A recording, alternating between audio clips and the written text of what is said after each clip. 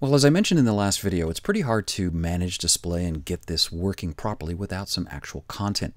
And so a regular part of my site building plan is to have a lot of fake content so that my layouts, views, etc. make sense.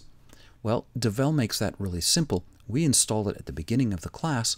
Go ahead and click on Configuration. And we're going to generate a whole bunch of terms and content. Go ahead and let's do terms first. Click Generate Terms. And we want to generate a bunch of landmarks, so let's make that into 50 landmarks. The number of characters in the term name, we'll leave it at 12, that's okay. We won't delete existing terms because then our Opera House would disappear. Click Generate.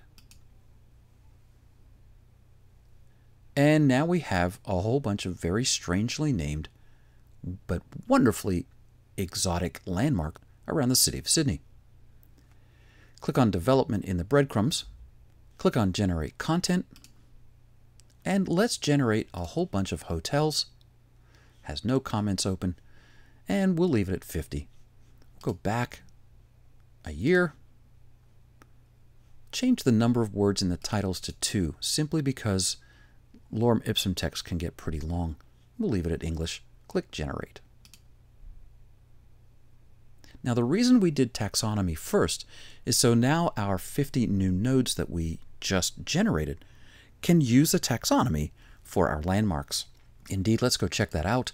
If I click on content and go to this crazy hotel called Brevitas Imito, you'll notice that it has an image, body, there's a map, of course, that doesn't work, a fake URL, but it's chosen two of our landmarks that were generated a little bit earlier. And so now we have some great content ready to go for the next section, where we're going to extend and then create some great displays and layouts using Drupal.